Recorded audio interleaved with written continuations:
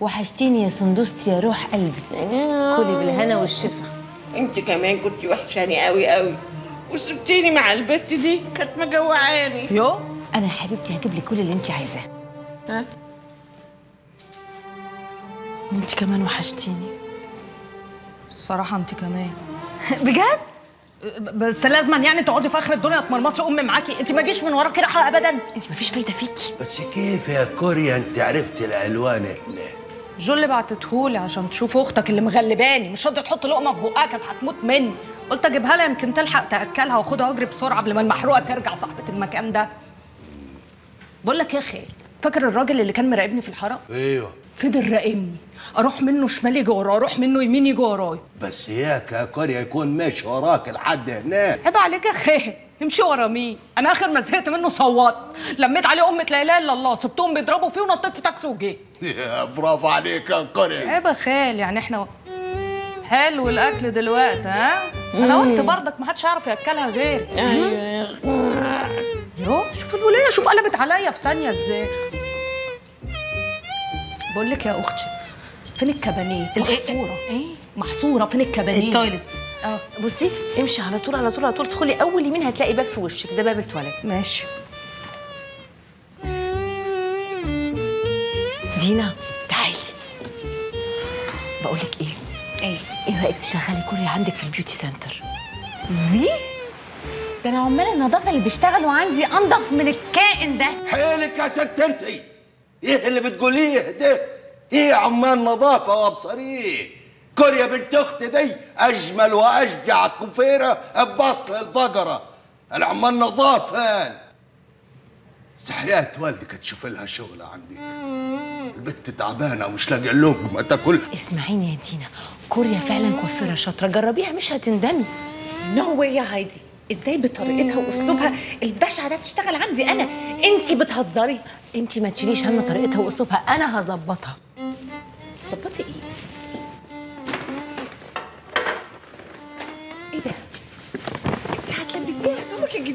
اديني ساعة واحدة. وأنا هبهرك. هتشوفي كوريا تانية خالص. طلعت اتأخرت مع الست هايدي جوا طب أقول لك حاجة على كوريا دي. كوريا دي يا ست هانم يدها تتلف في حرير. بتشتغل شغلانة زين. الست بتقوم من تحت يدها حاجة تانية خالص. يبقوا شبه الرجالة يا اخويا والله أنا هجربها يا عم شكري. بس الأول نشوف هايدي ممكن تطلع إيه من المأساة اللي جوه دي. غمضوا عينيكم. يلا يا كوريا.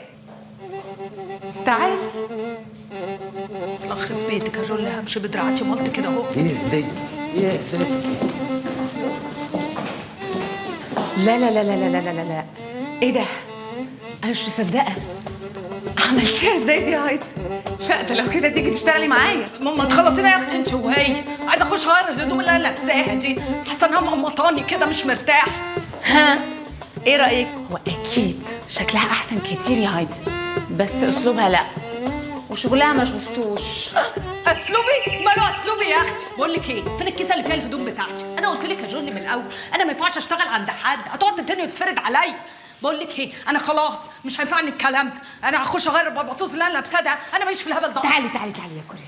مش هتغيري ولا حاجة. كانت هايدي قاعدة عندها. دي كوريا بنت أخت شكري. شكلها نضف قوي البنت دي يجي منها جدا. على فكرة يا دينا كانت أكبر غلطة إن إحنا جينا هنا وجبنا هايدي معانا. المكان في منتهى الخطورة عليها. ليه بس يا نادر؟ هو أصلا ما فيش حل تاني. والبنات مشيوا من هنا من أكتر من ساعة وما فيش حد زي ما أنت شايف. وبعدين كنت عايز ناخد هايدي ونروح بيها فين في وقت زي ده؟ بعدين مش أنت قلت لي إن خلاص المراقبة اتشالت؟ في إيه يا نادر؟ أيوه المراقبة اتشالت. بس ما ينفعش ننسى إنك مطلوبة. خلاص يا نادر إحنا بقينا هنا. المهم هنشوف هايدي هتروح فين. ده بقى ال beauty center بتاع دينا اللي انت هتشتغلي فيه. إيه رأيك فيه؟ حلو. مش كده؟ مش فورتيكا يعني وقلعيها ولبسيها. على إيه؟ ده المحل بتاعي فيه روح عنه. على الأقل ريحه خفيف كده. بس بقول لك إيه؟ هو مع حق برضك. انت ما كانش المفروض تسيبي شقة الرقاصة. يا بنت هتضيعي روحك عشاني وماله انت ياما عملتي كده علشاني؟ إيه إيه وانت إيه ده؟ وأنا اي حاجة اعملها تنقشيها ولا إيه؟ انت هتجيبي روحك ليا؟ هو انت مش هتبطلي؟ طب خلاص عبطت بقول لكم إيه؟ رايحوا دماغكم. أنتوا من اول كده لا بتعرفوا تحلوا ولا تربطوا. أنا خلي شكر راح يودي سندس عنده ودلوقتي هجيب سوكا ويجي. هنقعد إحنا مع بعضينا نمخمخ لكم كده في مكنة حلوة تبقى نضيفه ومش متداسه ونداري فيها البت جولي. رايحوا أنتوا قلبكم بس. يعني إيه مكنة؟ يعني مكان مكان. برافو عليك يا كوري. هو ده الكلام. إيه اللي برافو عليكي دي وأنا في الروضة. وبعدين ثم تعالى هنا. إحنا من ساعة ما قعدنا وأنت راقمني كده. إيه؟ هتاخدنا أربعة في ستة ولا تعمل لي بطاقه وبعدين بقول لك إيه؟ أنت تبع مين في القعدة الحلوة دي بقى بالصلاة على النبي؟ انت بقى. ده الدكتور نادر المحامي بتاعي. دكتور على نفسه يا أختي ما بحبش الرجالة تقعد تفصص في الحريم كده وهي قاعدة. إيه؟ هياخدني كشفين. البنت دي هي اللي ممكن توقع مروان. مين دي؟ كوريا؟ أيوه كوريا. المهم خلينا نفكر في المكان اللي هتروحي فيه الأول. وبعد كده هشرح لكم كل حاجة. أنتوا شلطوني البعض بقول لكم إيه أنا اخلع في ليلتكم السودا دي. ما تهدي بقى يا كوريا خلينا نفهم فيه إيه. يا أنسة كوريا نادر لا يمكن يضرك أوكي؟ لا نسى ده. اهدي بس يا كوريا. أنت قصدك إيه يا نادر؟ إحنا مش قلنا إن مروان نقطة ضعفه الفلوس والستات. كوريا اتغيرت 180 درجة في ساعتين زمن بس. مين عارف لو نظفناها أكتر من كده شوية واخدنا معاها شوية وقت ممكن تكون النتيجة إيه؟ تنظف مين يابا يا أختي مين ده؟ بقول لك إيه؟ يا كوريا. سلام عليكم. يا كوريا دكتور نادر ما يقصدش. يا انسه كوريا. دكتور نادر إحنا لسه هنتكلم عن الشغل. في إيه؟ ده إيه؟ العلم دي. ده بيقول لك تنضفها وليه وأنا كنت معفنة؟ تعالي بس يا كوريا. دكتور نادر ما يقصدش. استهدي كل إيه؟ ده؟ يا زي الشيطان يا زي الشيطان استهدينا. أها. اقعد يا كوريا. اقعدي اهدي ما يقصدش ما يقصدش فيه إيه؟ طب بيقول لك ننضفها ليه وأنا معفنة؟ المهم وأنا وسوكا وإحنا جايين في الطريق عرفت ان خد شقة جديدة في شارع الهرم جنب الكباريه عدل بالظبط يا ريت بس ست الكل هايدي يا ريت تشرفينا وتقعدي يومين كده عند أمي. وإذا كان عليا أنا ممكن أقعد في أي بنسيون يعني. يعني آه، معقول يا سوكا هتسيب شقتك علشاني؟ أنا بصراحة ماليش في الشقة اللي فيها السيراميك ديت. يعني بيجي لي منها كرشة نفس يعني. وبعدين أنت أختي الكبيرة وبصراحة أنت تعبت كتير قوي قوي أقول لك حاجة بس يا رب تستحملي أمي. لا نهار أسود. بلاش أمك يا سوكا لا. أمك لسانها بيدلدق بالكلام على طول زي الزير المخروم بالظبط. ونوال لو عرفت جول فين هتسلمها محارة وحلوب نوال من الأساس ما تعرفش إن إحنا سيبنا الحارة.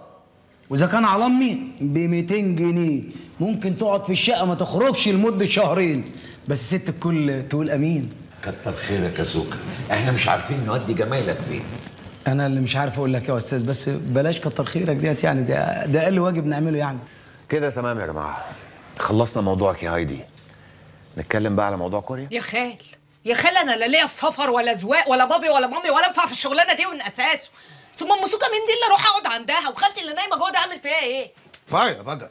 كفاية العرق الصعيدي اللي معشش في نافوخك ده أنت هتاخدي خالتك سندس وتروحي تقعد عند الست ام سوكا مالها الست ام سوكا دي طيبة. بتطلع على فوق كده وتنزل على الفاضي. قلبها كيف حزمة الفجل الورور. ورور. إيه ورور. ما ما تحاوليش يا حبيبتي ما تفهميش. أنا شخصيا ما بفهمش. بيقول لي سيبك منه. آه بص يا كوريا يا بنتي إحنا جايين لك النهارده مخصوص أنا والدكتور نادر عشان آه، يعني نعتذر لك عن سوء التفاهم اللي حصل بينك وبينه. وبعدين إحنا كلنا عارفين إنك بنت جدعة و... و... وإحنا تحت أمرك ونساعدك في أي حاجة. دكتور نادر عامل لك مفاجأة سمبربريز تجنن. بالله عليك يا دكتور. بالله عليك. تحكي لنا إيه الحكاية اللي حصلت؟ أنت حكيتها لي من شوية. بصراحة يا كوريا لما عم شكري قال لي إنك عندك سابقة أنا قلقت. وقلت لازم أسأل عشان أعرف إيه اللي حصل بالظبط. لقيتك واخدة سنة بتهمة التعدي على مديرة مصنع المراتب اللي كنت بتشتغلي فيه الست اللي اسمها ليلى المرزوقي صح؟ الله احرقها مطرح ما هي قاعدة. دي ولاد حرام. ده لو اشوفها بس أخنقها بايديا دول اللي ما تعرفوش يا كوريا إن المصنع اللي أنت كنت بتشتغلي فيه ده بتاع مروان. وليلى دي مجرد موظفة بتشتغل عنده وهو اللي خلاها تحبسك من غير ما يعرفك ولا تعرفيه. يبقى طارق مع مين يا كوريا؟ مع ليلى ولا مع مروان؟ إيه؟ تيجي إزاي دي؟ يعني الجدع الواطي اللي اسمه مروان بتاع جولي ده هو اللي سجنني أنا كمان؟ وهو صاحب المصنع اللي كنت بشتغل فيه؟ دي تيجي إزاي إن شاء الله؟ ما تفهمني هقول لك هقول لك أنا تيجي إزاي؟ هقول لك. لما انت رفضتي تقفي مع عمك في الكوافير أنا رحت للاستاذ مروان ده عشان تسمعه يشوف لك شغلانة. شغالك في المصنع. وبعدين لما حصل مشكلة مع الست ليلى وحصل لك حكم أنا رحت عشان استصنعه قال لي بقول لك إيه؟ أنا قطعت علاقتي مع الناس دي. يا ابن الحرام. ماشي. ده أنا كده طري بقى طريق. لكن ماشي.